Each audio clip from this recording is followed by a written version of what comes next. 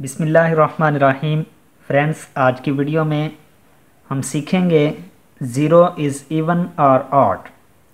हमने आज की वीडियो में ये देखना है कि ज़ीरो इवन है या ऑड है। अगर इवन है तो क्यों है? अगर ऑड है तो क्यों है? तो ये बात मैं शुरू में ही बता देता हूँ कि ज़ीरो जो है, ये हमारे पास एक इवन नंबर है। लेकिन इस इवन को हमने आज फोर डिफरेंट मेथड से हम इसको प्रूव करेंगे। तो हम वन बाय वन चलते हैं।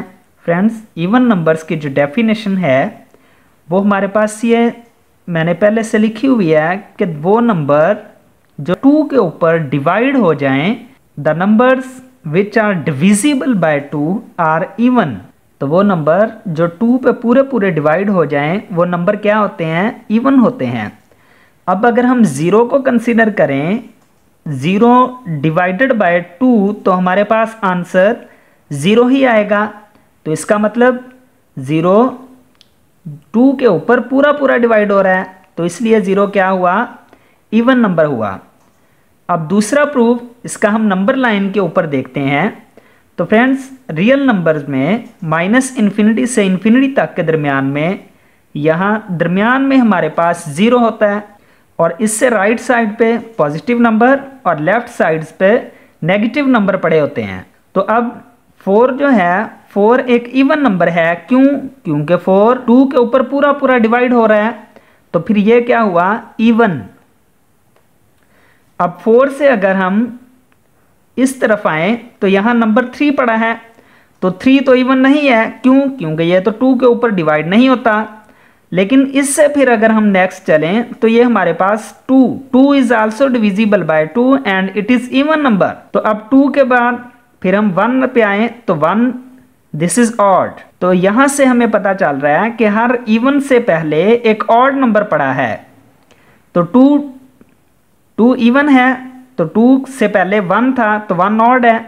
तो इसी चीज़ को अगर हम जनरलाइज्ड करें तो फिर वन से पहले चूँकि ज़ीरो आ रहा है तो ज़ीरो भी फिर क्या होगा? ज़ीरो भी हमारे पास एक इवन नंबर ही है। अब हम एक और तरीके से इसी चीज़ को प्रूव करेंगे। हमें पता है कि माइनस वन की power is equal to one आएगा। कब?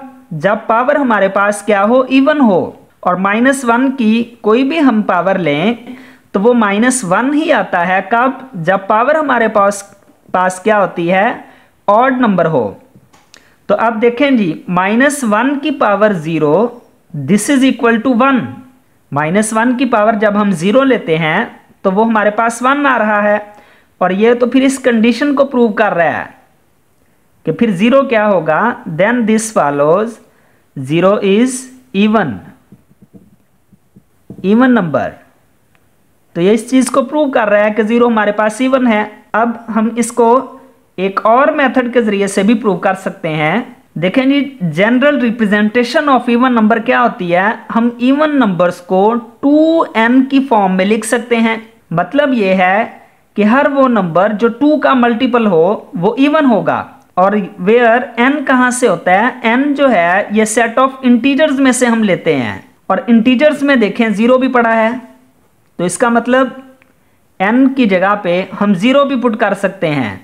जब n की जगह पे हम ज़ीरो पुट करें तो two into zero is equal to zero और ये ज़ीरो फिर क्या हुआ? ये हमारे इस इवन नंबर की डेफिनेशन को फुलफिल कर रहा है। Hence proved zero is even number तो फ्रेंड्स आई होप आप बड़ी अच्छी तरह से इस वीडियो में सीख चुके होंगे। कि ज़ीरो एक इवन नंबर ही है और ये हमने फोर डिफरेंट मेथड के ज़रिए से इस चीज़ को प्रूव भी कर दिया। थैंक यू अल्लाह हाफिज़